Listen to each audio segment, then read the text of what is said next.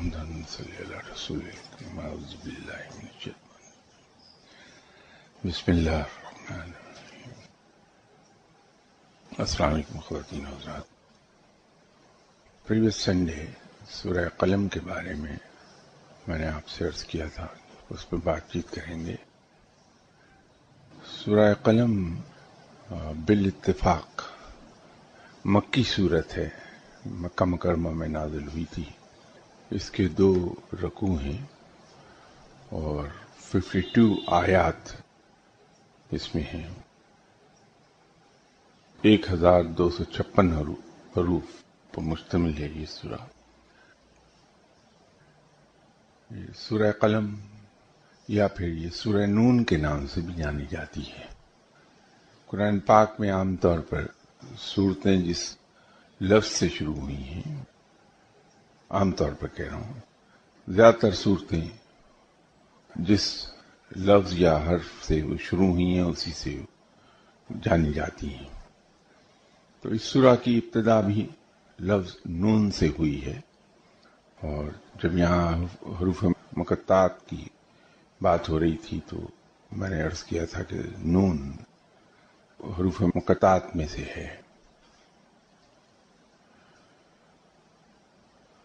اس سورہ کے نازل ہونے کی جو وجہ سمجھ میں آتی ہے، وہ یہ ہے کہ اس میں آپ صلی اللہ علیہ وسلم کی دلجوئی اور انکریج کرنے کی بات ہے کہ اس میں آپ صلی اللہ علیہ وسلم کو حوصلہ دیا گیا ہے، کیونکہ آپ صلی اللہ علیہ وسلم پر جب وہی نازل ہونا شروع ہوئی اور آپ نے دعوت اسلام دینا شروع کی کفار مکہ کو، تو کفار مکہ کا رویہ رفتہ رفتہ سخت ہوتا چلا گیا۔ درمیان میں ایک سٹیج ایسی بھی آئی کہ جس میں انہوں نے آپ صلی اللہ علیہ وسلم کے بارے میں کچھ ایسے الفاظ بھی کہے جو تحقیر آمیز تھے۔ سورہ کوثر کا نزول بھی ایسے ہی ایک موقع پر ہوا۔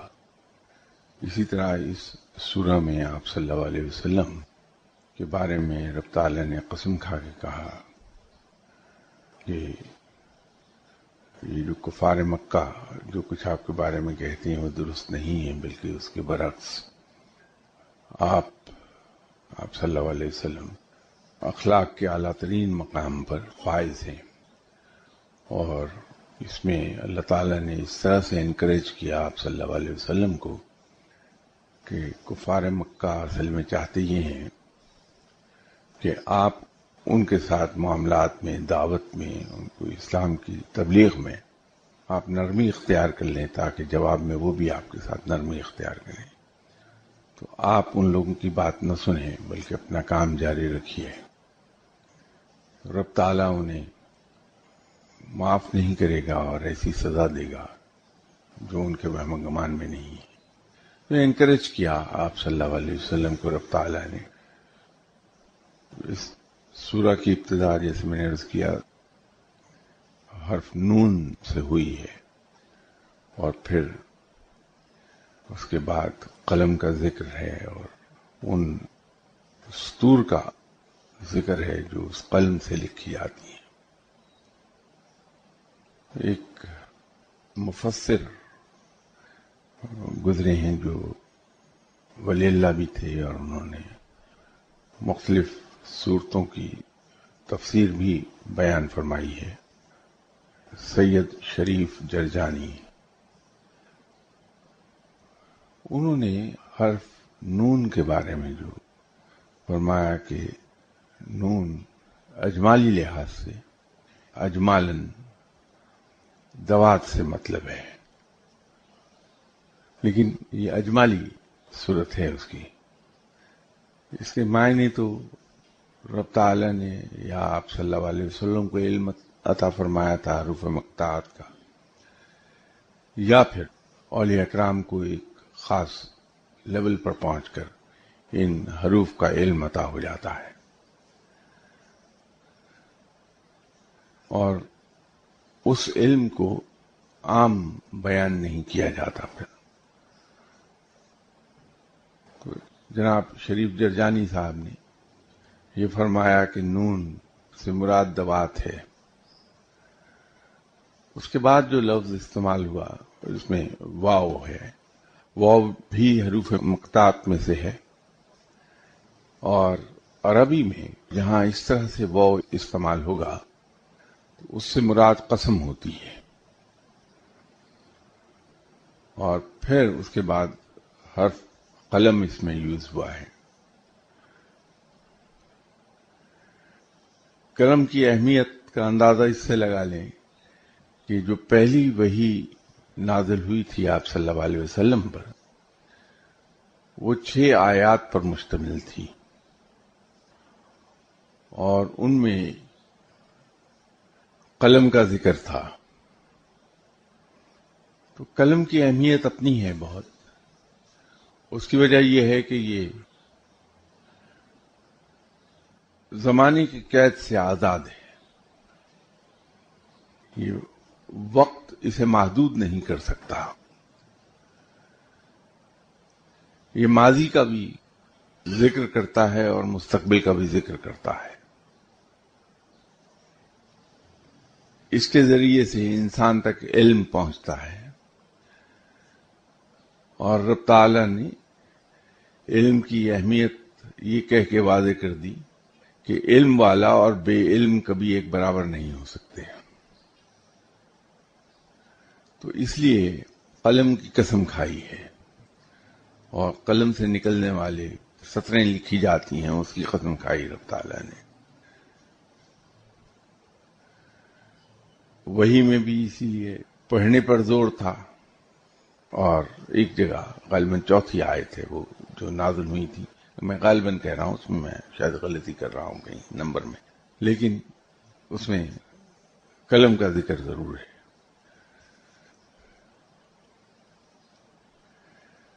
اب ذکر سورہ قلم کا آیا تو اس میں ایک جگہ لفظ استعمال ہوا کہ کفار، آپ صلی اللہ علیہ وسلم کو مجنو کہتے ہیں۔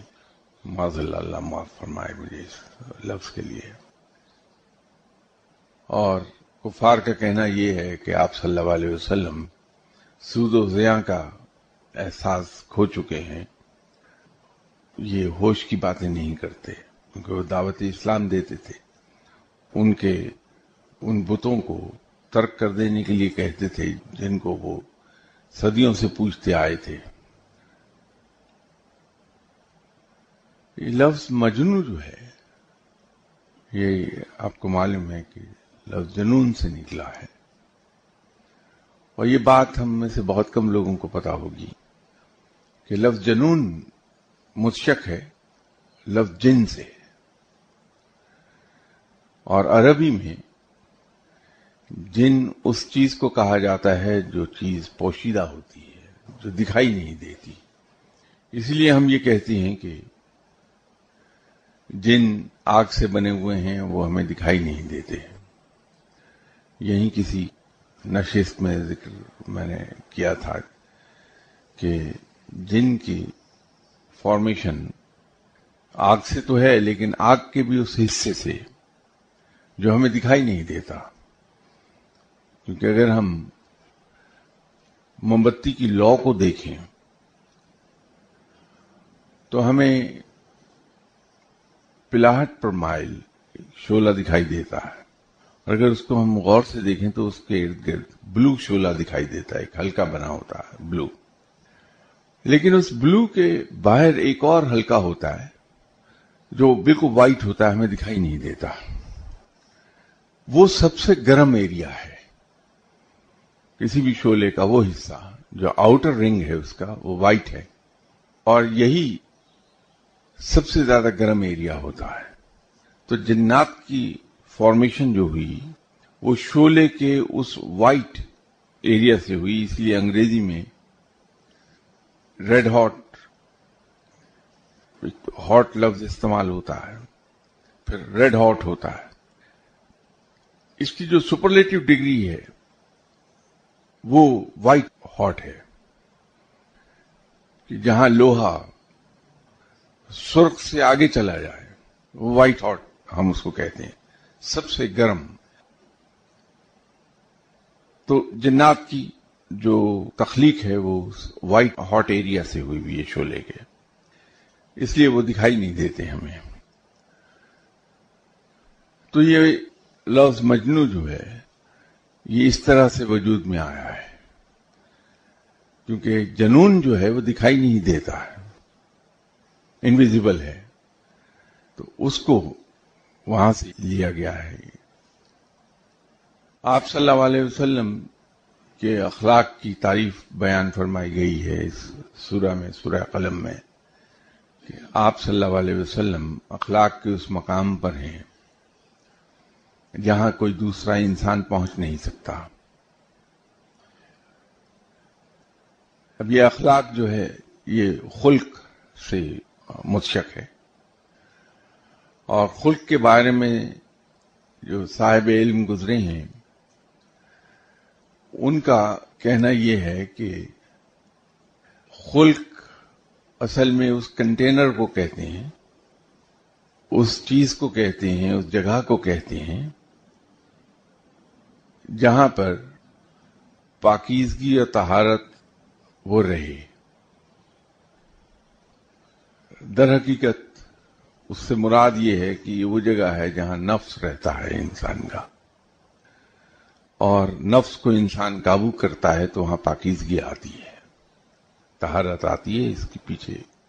کہنے میں یہ رمز پوشیدہ ہے۔ ہر پیغمبر کو رب تعالی نے کوئی نہ کوئی ایک صفت عطا فرمائی۔ جیسے صبر ایوب اسے حضرت عیسیٰ علیہ السلام کو اسی طرح حضرت موسیٰ علیہ السلام کو ایک ایک صفت کہیں نہ کہیں بیان ہوئی ہے، پیغمبر کی۔ لیکن آپ صلی اللہ علیہ وسلم میں وہ تمام صفات جمع تھیں جو ہر پیغمبر کو ایک ایک عطا ہوئی تھی آپ صلی اللہ علیہ وسلم میں وہ سب کی سب خلق جمع تھی وہ۔ اس لیے کہا جاتا ہے کہ آپ صلی اللہ علیہ وسلم اخلاق کے اس بلند مقام پر ہیں۔ جہاں کوئی دوسرا پہنچ نہیں پاتا۔ خلق کو ایک اور معنوں میں بھی لیا جاتا ہے۔ ہم نیکی کرتے ہیں، اس کے لیے اگر ہمیں ایفرٹ کرنا پڑتی ہے، اپنے ساتھ لڑنا پڑتا ہے۔ ایک ایفرٹ کرنی پڑتی ہے کہ ہم کسی دوسرے کے ساتھ بھلائی کا کام کریں، کسی دوسرے کے ساتھ اخلاق سے بولیں۔ لیکن خلق اس مقام کا نام ہے جہاں ایفرٹ لیس نیکی ہوتی ہے انسان نیکی کرتا ہے بغیر کسی کانشیس ایفرٹ کے، جہاں اس کا حسن اخلاق بغیر کسی تردد کے، بغیر کوئی محنت کیے، خود بخود۔ اس کی مثال میں یہ عرض کر دوں کہ یہ بلب ہے۔ ہم اسے سوئچ آن کرتے ہیں، تو فوری طور پر بغیر کسی ایفرٹ کے یہ گلو کرنے لگتا ہے۔ نہ صرف خود گلو کرتا ہے، بلکہ اپنی روشنی ارد گرد پھیلا دیتا ہے۔ اندھیرا دور ہو جاتا ہے۔ اس میں کوئی ایفرٹ انوالو نہیں ہوئی۔ تو جب ہم کسی کو دیتے ہیں کچھ، تو یوں لگتا ہے جیسے دینا ہماری جبلت ہے انسٹنکٹ تو جو کام یوں لگے کہ ہم بائی ہیبٹ کر رہے ہیں یا بائی انسٹنکٹ کر رہے ہیں، تو اس کی صحیح تعریف تو وہی ہے جو میں نے ارض کی کہ جب نیکی ہم بغیر کسی کانشیس ایفرٹ کے کریں، تو وہ خلق ہے۔ تو جب نیکی انسان کی اس مقام پر آ جائے، جہاں یوں لگنے لگے کہ یہ بائی ہیبٹ کرتا ہے بندہ یا بائی انسٹنکٹ یہ کر دیتا ہے، تو وہ خلق ہے۔ آپ صلی اللہ علیہ وسلم کی سخاوت، آپ صلی اللہ علیہ وسلم کی سچائی، آپ صلی اللہ علیہ وسلم کی دیانتداری، آپ صلی اللہ علیہ وسلم کی راست گوئی، آپ صلی اللہ علیہ وسلم کا کسی کو اس کی غلطیوں پر کچھ نہ کہنا۔ یہ سب اس طرح سے ہوتا تھا۔ گویا کہ آپ صلی اللہ علیہ وسلم بائی انسٹنکٹ یہ کرتے ہیں اس میں۔ ارادے کا دخل نہیں ہے۔ خود بخود ہوتا چلا جا رہا ہے بغیر کسی کانشیس ایفرٹ کے۔ تو وہ وہ حسن اخلاق ہے۔ اور یہ اللہ تعالیٰ کو بہت پسند ہے یہ چیز۔ تو سورہ قلم سے اگر ہم کچھ سیکھنا چاہیں، تو سب سے بڑا سبق اس کے اندر پوشیدہ یہ ہے کہ حسن اخلاق کے کس معیار کو ہم اپنے سامنے رکھیں۔ جب ہم سورج پر پہنچنے کا ارادہ کرتے ہیں اور ایفرٹ کرتے ہیں کہ ہم سورج پر جا پہنچیں، تو سورج پر تو نہیں ہم پہنچ پاتے۔ لیکن احتمال یہ ہے، امکان یہ ہے کہ ہم چاند تک ضرور جا پہنچیں گے۔ تو اگر اس حسن اخلاق کو ہم نے اپنا آبجیکٹو بنا لیا تو وہاں تک تو پہنچ نہیں پائے گا، یہ قرآن کا بھی فیصلہ ہے۔ کہ آپ صلی اللہ علیہ وسلم کے حسن اخلاق کے معیار کو کوئی نہیں پہنچ پاتا۔ لیکن یہ ضرور ہے کہ ہم کہیں تو جا پہنچیں گے۔ یہ جو حسن اخلاق کی میں بات کر رہا تھا، اس میں ایک مرتبہ آپ صلی اللہ علیہ وسلم نے اپنے صحابہ سے فرمایا کہ حسن اخلاق کے تین سو ساٹھ قسمیں ہیں، صفات ہیں، خوبیاں ہیں، یا تین سو ساٹھ قسم کا حسن اخلاق ہے، یوں کہیے۔ تو ہر انسان میں ایک نہ ایک ہوتا ضرور ہے کچھ۔ تو حضرت ابو بکر صدیق رضی اللہ تعالی عنہ نے آپ صلی اللہ علیہ وسلم سے پوچھا کہ، یا رسول اللہ صلی اللہ علیہ وسلم، میرے اندر بھی کوئی ایسی خوبی ہے یا نہیں ان تین سو ساٹھ میں سے؟ تو آپ نے فرمایا کہ تمہارے اندر تو سب کی سب موجود ہیں۔ تو سورہ قلم کی تفسیر جگہ جگہ لکھی ہوئی مل جائے گی۔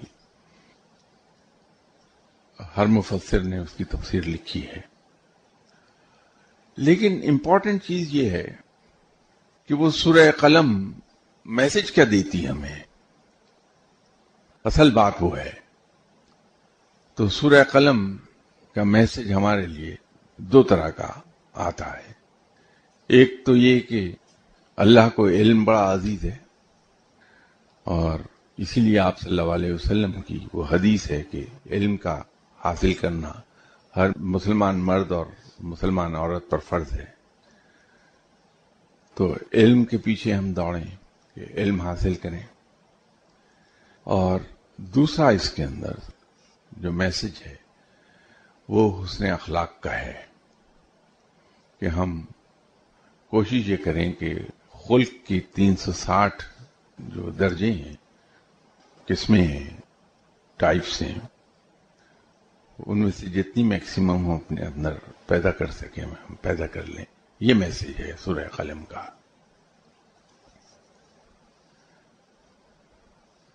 ایک سوال اور اسی طرح کہا گیا ان شاء اللہ تعالی۔ نیکسٹ سنڈے تو شاید میں نہ ہوں، لیکن اس کے بعد جب میں ہم لوگ یہاں جمع ہوں گے، تو اس موضوع پر بات کر لیں گے کسی صاحب نے۔ لکھا ہے please explain esoteric and exoteric the light of spiritualism تو ان شاء اللہ تعالیٰ اس پہ آئندہ یہاں جمع ہوں گے، تو اس پہ بات کریں گے۔ یہ خاصا تفصیل طلب سوال ہے۔ میں تقریباً ہر اتوار ایک عرض کرتا ہوں کہ ساتھ دیکھیے، میں مفتی نہیں ہوں اور نہ میں اہل ہوں اس بات کا کہ میں فتویٰ دے پاؤں۔ اس کے لیے انسان کو دس علوم پر کمانڈ ہونی چاہیے اور کوالیفائی ہونا چاہیے ان دس کے دس علوم کے بارے میں۔ پھر کہیں جا کے فتویٰ دینے کا اہل ہوتا ہے انسان۔ جب ہم کسی ایک شرعی مسئلے پر بات کرتے ہیں اور اس پر ایک فیصلہ دیتے ہیں تو ایک طرح کا فتویٰ ہو جاتا ہے۔ یہ تمام چیزیں مختلف کتابوں میں ہمیں اویلیبل ہیں۔ اگر ہم وہاں سے اس طرح کی باتیں دیکھ لیں تو ان سوالوں کے جواب دینے کے بعد جو مجھے گلے شکوے یہاں بیٹھے ہوئے لوگوں کے سننے میں ہوتے ہیں، ان سے میں بچ جاؤں گا۔ ہر آدمی کو یہ شکایت ہوتی ہے کہ یہ تو وہ چیزیں ہیں جو کتابوں میں مل جاتی ہیں۔ تو ان کو کتابوں تک رہنے دیجیے آپ ہمارا وقت ضائع نہ کیا کیجیے یہ عام طور پہ میرے پاس شکایت لوگ کرتے ہیں کہ آپ ہمارا وقت ضائع کرتے ہیں۔ تو یہ سوال جو اس طرح کے ہیں، وہ کسی صاحب نے سوال پوچھا ہے کہ اگر کوئی شخص قرآن پر ہاتھ رکھ کر کسی کام کو کرنے کی قسم کھا لے اور باوجود وہ کام نہ کر سکے تو ایسی صورت میں نجات کا کیا راستہ ہے؟ تقریباً ہر جگہ ہمیں مل جائے گا کہ اگر ہم کبھی قسم کھا لیں اور انسان ہیں سب ہم، کسی مجبوری کی حالت میں وہ قسم توڑ دیتے ہیں، ہم اس قسم کو پورا نہیں کر پاتے۔ تو اس کا بڑا سیدھا سیدھا معاملہ ہے کہ ہم صدق دل سے، خلوص نیت سے اللہ تعالی سے معافی مانگ لیں اور مساکین کو کھانا کھلا دیں۔ اللہ معاف فرمانے والا ہے۔ وہ یقیناً معافی مانگنے پر معاف فرما دیتا ہے۔ دوسرا سوال ہے کہ اگر کوئی صاحب کسی دوسرے صاحب سے کہیں کہ آپ اپنا اثر و رسوخ استعمال کریں اور فلاں صاحب سے میرا یہ کام کرنے کو کہیں ورنہ میں آپ کو اور آپ کے اہل و عیال کو بدعا دوں گا، تو کیا اللہ ایسی بدعائیں قبول کرتا ہے؟ ہم سفارش وہیں پر کرتے ہیں جہاں ہمارا کام میرٹ پر نہ ہونا ہو۔ تو سفارش کر کے اگر میرٹ کے اگینسٹ ہم کام کرا رہے ہیں، تو تو ہم کسی اور کا حق مار رہے ہیں۔ تو یہ تو ویسے ہی غلط ہے۔ تو ایسا کام کرنے پر کوئی لاکھ بدوائیں دیتا رہے اللہ تعالیٰ دلوں کے حال جانتا ہے، وہ غیب کا علم رکھتا ہے۔ اس کو ازل سے ابد تک کی خبر ہے۔ تو وہ ایسی بدوائیں قبول نہیں کرتا۔ اس دھوکے میں نہ آئی ہے۔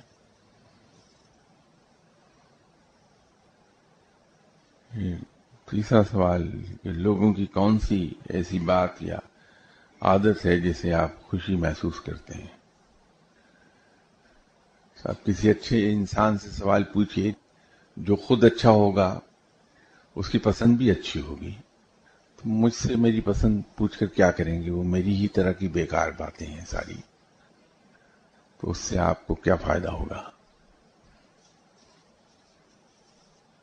کسی صاحب نے سوال پوچھا ہے کہ قرآن میں اللہ تعالیٰ فرماتے ہیں کہ تمہارا مال اور اولاد تمہاری بڑی آزمائشیں ہیں۔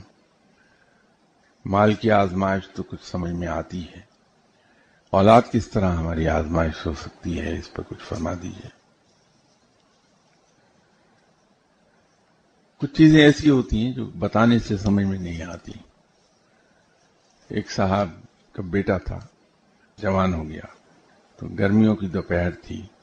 تو دوستوں کے ساتھ وہ صاحب گھر پہ آئے اور آ کے جو روف ٹاپ تھی، اس پر دوپہر کے وقت چڑھ کے پتنگ اڑانے لگے۔ تھوڑی دیر میں ان کے والد آئے اور آ کے کہنے لگے کہ بیٹا دھوپ بہت تیز ہے، تو تمہیں سن سٹروک ہو جائے گا۔ شام کو اڑا لینا پتنگ دوستوں کے ساتھ، ابھی آ کے نیچے آرام کر لو۔ میں کہا جی اچھا میں ابھی آتا ہوں۔ پتنگ اڑاتے رہے بدستور تو والد پھر اوپر آئے اور پھر آ کے کہا کہ بیٹا، میں نے تمہیں کہا تھا کہ دھوپ بہت تیز ہے، تمہیں سن سٹروک ہو جائے گا۔ تو نیچے آ جاؤ، شام کو اڑا لینا۔ اس نے پھر کہا اچھا میں آ جاتا ہوں۔ تو جب تیسری بار والد آئے تو بیٹے نے تلخی سے کہا کہ، ابا جی آپ کو کیا ہوتا ہے؟ سن سٹروک ہوگا تو مجھے ہوگا۔ آپ کو تو نہیں ہوگا، تو آپ اطمینان سے بیٹھیے۔ تو اس کے والد چپ چاپ نیچے چلے گئے۔ تو دو منٹ کے بعد ہی واپس آئے۔ گود میں اپنے پوتے کو اٹھایا ہوا تھا۔ تو لا کے دیوار پر بٹھا دیا۔ تو ان کا بیٹا تڑپ کے پتنگ چھوڑ کے آیا، کہنے لگا بھاجی کیا کر رہے ہیں؟ اس کو گرمی لگ جائے گی، سن سٹروک ہو جائے گا، آپ اس کو اوپر کہاں لے آئے؟ انہوں نے کہا کہ بیٹا، جیسے تمہیں تکلیف ہوئی ایسی تمہارے دھوپ میں کھڑے ہونے سے مجھے تکلیف ہو رہی تھی۔ تو کچھ چیزیں بتانے سے سمجھ میں نہیں آتی، پریکٹیکل کرنے سے سمجھ میں آتی۔ تو خدا نخواستہ، کبھی اولاد کا کوئی مسئلہ آ جائے، تو آپ دیکھیے کہ بڑے بڑے نیک لوگ سفارشیں کرنے پر لگیں گے۔ رشوت دے کے اس کا کام کرا رہے ہوں گے۔ اگر اس بات کے خلاف ہیں کہ کسی کے پاس جایا جائے دعا کرانے، تو اولاد کی تکلیف دیکھ کے وہ ہر ایک کے پاس جانے کو تیار ہوتے ہیں، دعائیں کراتے ہیں، جا کے تعویذ استعمال کر لیں گے۔ اور تو اور کالا جادو بھی کرا لیں گے۔ باوجود یہ جاننے کے کہ کالے جادو کرانے والے کا ایمان باطل ہو جاتا ہے۔ تو اولاد کو جو آزمائش کہا گیا وہ اسی وجہ سے کہا گیا کہ اولاد کی تکلیف کو دیکھ کے انسان وہ کام کر لیتا ہے جس کو وہ ہمیشہ غلط کہتا آیا ہے۔ اولاد کو بچانے کے لیے وہ جھوٹ بول لیتا ہے، جھوٹی گواہی تک دے دیتا ہے۔ چونکہ اولاد کی محبت انسان کو غلط کام کرا دیتی ہے، اس لیے اس کو آزمائش کہا گیا۔ کہ اس کے لیے بہت بڑے دل اور بہت حوصلے کی ضرورت ہے کہ اولاد کو تکلیف میں دیکھ کے، اسے مشکل میں دیکھ کے انسان کوئی ایسا کام نہ کرے جو ممنوع ہو، جس سے منع کیا گیا ہو، لیکن بہت کم لوگ رجسٹ کر پائیں۔ تو اسی لیے اس کو آزمائش کہا گیا۔ یہ سوال پڑھنے سے پہلے اگر کوئی انگریز ہوتا تو اس کو نظر پڑتی، کہتا ہوں اور نو ناٹ اگین پھر اس میں آزم آ گیا ہے بھائیوں خدا کے لیے اس میں آزم کی جان چھوڑ دو۔ ہم کس چکر میں پڑے ہوئے ہیں؟ اگر ہم دنیاوی کام کرانے کے لیے اس میں آزم کی تلاش میں نکلے ہوئے ہیں کہ وہ ایک بار ہمارے ہاتھ آ جائے، ہم کام کرا لیں اس سے۔ تو کبھی ہم نے یہ سوچا کہ ہمیں تلاش کیوں ہے اس میں آزم کی؟ یہ اس میں آزم کی تلاش، اس کی مثال میں یہی دے سکتا ہوں کہ میں کسی انسان سے اس کے بیٹے کو یغرمال بنا کے یا اس کو گن پوائنٹ پر مجبور کروں کام کرنے کے لیے، یہ اسی وقت ہوگا جب اس آدمی پر میرا اعتماد ختم ہو جائے۔ جب مجھے یہ پتا ہو کہ یہ کام عام حالات میں نہیں کرے گا میرا، تو بھائی اس کو استعمال کرنا چاہتے ہیں ہم اپنے کاموں کے لیے۔ کیا رب پہ بھروسہ نہیں رہا ہمیں؟ کبھی آپ اس اینگل سے دیکھیے کہ کیا رب پہ بھروسہ نہیں رہا۔ جس کو رب پہ بھروسہ ہے، ان لوگوں کو تو میں نے عجیب الفاظ میں، عجیب ٹون میں رب سے درخواست کرتے دیکھا۔ وہ اکثر بیچتے اسی طرح ملیں گے لوگ جن کا رب پہ بہت بھروسہ ہے۔ کہ وہ یہ کہتے ہوئے ملتے ہیں اور ربا اور دیکھنا ہے کی ہو رہا ہے۔ لو، ختم ہو گئی بات۔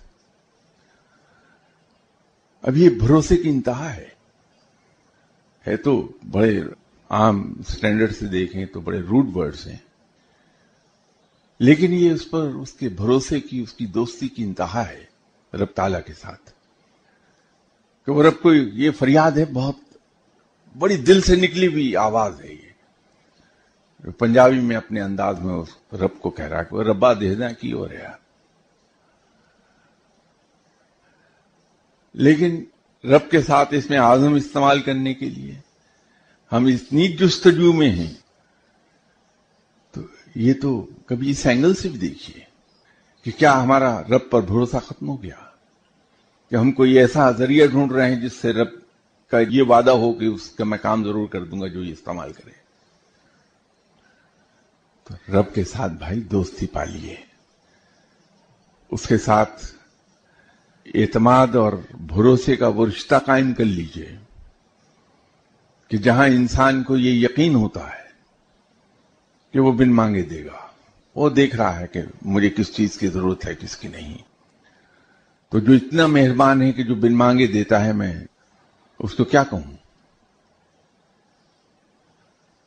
اب یہاں ہم یہ اعتراض کریں گے اس بات پر کہ اگر دنیا کا مانگنا اتنا اچھا نہیں ہے، تو پھر رب تعالیٰ نے وہ دعا کیوں بنا دی؟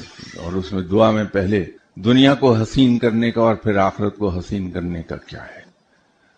بھائی، دنیا حسین مال و زر سے نہیں ہوگی جاہو حشمت سے نہیں ہوگی، محلات سے نہیں ہوگی دنیا حسین۔ ہمارے مختلف حکمرانوں کے بارے میں سٹوریز گشت کرتی رہتی ہیں کہ فلاں صاحب کے پاس اتنی دولت ہے، فلاں صاحب کے پاس اتنی دولت ہے، فلاں کے پاس اتنی ہے۔ کبھی ہم نے محسوس کیا کہ جو اتنے دولت مند ہیں اور صاحب اقتدار بھی ہیں، ان کے بارے میں کس کس طرح کے ایس ایم ایس چلتے ہیں میسیجز چلتے ہیں؟ یہ دنیا حسین ہے۔ اگر حسین دنیا دیکھنی ہے، تو جا کے دیکھیے دادا گنج بخش صاحب کی۔ مٹی میں ان کی ہڈیاں بھی آج نہیں ہوں گی کہ نو سو پینسٹھ سال سے زیادہ وقت گزر گیا۔ لیکن کوئی آدمی رحمت اللہ علیہ کہے بغیر ان کا نام نہیں لیتا۔ کوئی بھی شخص ان کے اس نشان کی طرف پیٹھ موڑ کر نہیں آتا جہاں اب ان کی ہڈیاں بھی باقی نہیں ہیں۔ الٹے قدم چلتے ہیں عزت کے مارے۔ یہ حسین ہے دنیا۔ آپ ان فقیروں کو جا کے دیکھیے۔ جہاں صاحب اقتدار اپوائنٹمنٹ لے کر خود حاضر ہوتے ہیں۔ وہ ان کے در پر نہیں جاتا، صاحب علم جو ہے۔ تو دنیا اس کی حسین ہے یا صاحب اقتدار کی دنیا حسین ہے؟ ان صاحب نظر لوگوں کو دیکھیے، جو بے موسم پھل کی دل میں صرف خواہش کرتے ہیں کہ ارادہ ہلکا سا ایک خیال پیدا ہوتا ہے کہ اگر اس موسم میں انگور کھائے جائیں، کیا مزہ آئے۔ پانچ منٹ کے بعد کوئی نہ کوئی انسان انگور پلیٹ میں لیے ہوئے حاضر ہو جائے گا۔ کہ لیجیے تناول فرمائیے۔ دنیا یہ حسین ہے یا وہ حسین ہے؟ تو ہم کس قصے میں پڑ گئے؟ بجائے ایک بار اس میں آزم استعمال کر کے ایک کام کرا کے اپنا نام لسٹ میں سے، فہرست میں سے ہمیشہ کے لیے کٹوا لینے کے۔ یہ بہتر نہیں کہ اللہ کی دوستی کما لیں ہم۔ تاکہ رب ہمارا ہو جائے۔ اور جب رب ہمارا ہو گیا تو یہ ساری کائنات ہماری ہے۔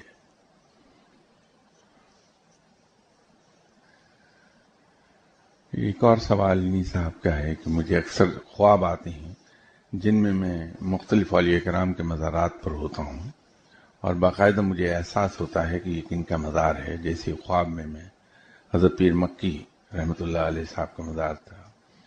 ایک خواب میں حضرت میاں میر صاحب کا مزار تھا۔ ایسے خواب کے بعد ان مزارات پر جا کر کیا کرنا چاہیے؟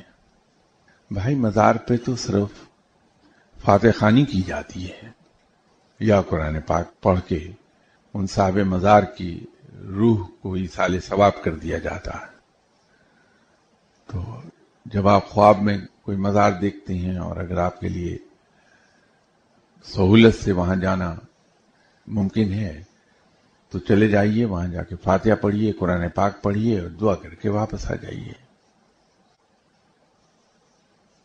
اس میں آزم اور ایسی چیزوں سے جان چھوڑائیے کچھ نہیں رکھا ان میں، بیکار۔ یہ دعا کیجیے کہ اللہ تعالیٰ آپ کو اس مقام پر لے جائے، جہاں انسان ان چیزوں سے بہت بالا تر ہو جاتا ہے۔ کہ میرا کیا کام ہوا، کیا نہیں ہوا؟ میرا کیا بنا؟ میری اولاد کا کیا بنا؟ فلاں کام کا کیا ہوا؟ اس مقام کا جس کو چسکا لگ گیا، پھر وہ دنیا اس کی نظروں کے سامنے ہیچ ہے بالکل۔ اور یہ فقیر اسی لیے تو بادشاہ کو کہہ دیتے ہیں، یہ پوچھنے پر کہ میرے لیے کوئی حکم، کوئی خدمت کہ میری دھوپ چھوڑ دو۔ وہ مقام حاصل کیجیے۔ اور وہ مقام اسی وقت آئے گا جب رب تعالیٰ کے ساتھ بھروسے کا اور یقین کا رشتہ قائم ہو جائے گا۔ جب واقعی دل میں یہ ایمان آ جائے گا کہ میرا رب بڑا مہربان ہے، بڑا رحیم و کریم ہے، اور اس کے ہوتے ہوئے نہ میری کوئی ضرورت رک سکتی ہے، نہ مجھے کوئی نقصان ہو سکتا ہے، نہ میرے اوپر کوئی ظلم ہو سکتا ہے۔ آپ نے تاریخ میں ایک نام پڑھا ہوگا، احمد شاہ ابدالی۔ یہ فوج میں ایک عام سپاہی تھا اور تعلیم اس کی بھی کوئی زیادہ نہیں تھی۔ تو جس فوج کا یہ حصہ تھا، وہ فوج کسی مہم پر جا رہی تھی۔ راستے میں اس فوج نے پڑاؤ ڈالا۔ تو رات کا جو کھانا سرو ہوا سپاہیوں کو این اسی وقت آدمی آیا جس کا حلیہ کوئی زیادہ اچھا نہیں تھا۔ اور وہاں سپاہی بیٹھے اپنے لنگر میں کھانا کھا رہے تھے۔ تو اس نے آ کے کہا کہ میں بھوکا ہوں، مجھے کھانا کھلا دو۔ تو لوگوں نے اسے ڈانٹ دیا کہ تم، یہ تو لشکر کا پڑاؤ ہے، اس کے اندر کیسے داخل ہو گئے؟ تو احمد شاہ ابدالی وہاں بیٹھا کھانا کھا رہا تھا۔ اس نے چپ چاپ اپنا کھانا اٹھایا اور اس فقیر کے حوالے کر دیا کہ یہ لیں کھا لیں آپ۔ تو اس فقیر نے کھانا کھایا اور کھانا کھانے کے بعد احمد شاہ ابدالی سے اس نے کہا کہ تم نے مجھے کھانا کھلایا ہے۔ بولو، کیا مانگتے ہو؟ جو مانگو گے ملے گا۔ تو سب سپاہیوں نے کہہ کے لگائے۔ اور کہہ کے لگانے کا مطلب یہ تھا کہ جس آدمی کے پاس کھانا کھانے کو نہیں ہے وہ یہ کہہ رہا کہ مانگو کیا مانگتے ہو؟ جو مانگو گے ملے گا۔ تو احمد شاہ عبدالی نے بڑا پولائٹلی کہا کہ آپ کی بڑی مہربانی۔ بس جب دل چاہے دعا کر دیجیے گا میرے لیے۔ تو فقیر رخصت ہونے سے پہلے انہوں نے کہا کہ جاؤ تمہیں بادشاہ بنا دیا، اب بادشاہ ہو جاؤ گے تم۔ تو پھر وہ کہہ کے اڑے وہاں پر۔ اس مہم میں مقابلہ بڑا سخت تھا، نقصان بہت ہوا۔ احمد شاہ عبدالی نے بے تحاشا بہت ہی بہادری دکھائی اس جنگ میں۔ بادشاہ نے نوٹس کیا اسے اسے ترقی دے دی اور اسے ایک چھوٹے درجے کا صوبیدار بنا، سردار بنایا۔ جو پھر اس سے اگلی جنگ میں اس نے کمانڈ اپنے جو اس کے انڈر کمانڈ تھی ٹروپس ایسا آلہ اس کا مظاہرہ کیا کہ بادشاہ نے اس کو پھر پانچ ہزار ٹروپس پر سردار مقرر کر دیا۔ تو یوں کرتے کرتے یہ کمانڈر ان چیف ہو گیا۔ اور پھر ایک وقت وہ بھی آیا کہ اس نے بادشاہ کو ہٹا کے خود یہ بادشاہ بن بیٹھا۔ تو جب یہ بادشاہ بنا تو اس کو اس فقیر کی بات ہی آئی، یاد آ گئی کہ اس نے کہا تھا کہ تمہیں بادشاہ بنا دیا۔ تو پتہ کرایا تو معلوم ہوا کہ وہ تو پنجاب گئے ہیں۔ اس وقت پنجاب پر سکھوں کی حکومت تھی یہاں۔ تو ہوا یہ کہ یہاں جو سکھ حکمران تھے، انہوں نے مسلمانوں پر بڑا ظلم ڈھایا۔ تو ان فقیر کو یہ پتا چلا کہ وہاں مسلمانوں پہ ظلم ڈھایا جا رہا ہے۔ تو یہ سکھ راجا کے دربار میں آ گیا اور آ کے کہا کہ یہ تم غلط کر رہے ہو۔ اس طرح تمہیں مسلمان پر ظلم نہیں ڈھانا چاہیے۔ تو اس سکھ مہاراجا نے حکم دیا کہ اس فقیر کو پکڑ کے اس کے حلق میں ابلتی ہوئی چاندی ڈال دی جائے۔ تو وہ سپاہیوں نے پکڑا اور ابلتی ہوئی چاندی ان کے حلق میں ڈال دی۔ تو آبیسلی انتقال ہو گیا ان کا بزرگ کا۔ یہ خبر احمد شاہ عبدالی تک پہنچی کہ میرے مرشد کے ساتھ سکھ مہاراجا نے یہ حال کیا ہے۔ تو وہ افغانستان سے آیا اور اس نے حملہ کیا، لاہور فتح کر لیا اس نے۔ اور اس کے بعد حکم دیا کہ تین دن تک یہاں سکھوں کا قتل عام کیا جائے۔ تو یہ حکم دے کے سو گیا یہ۔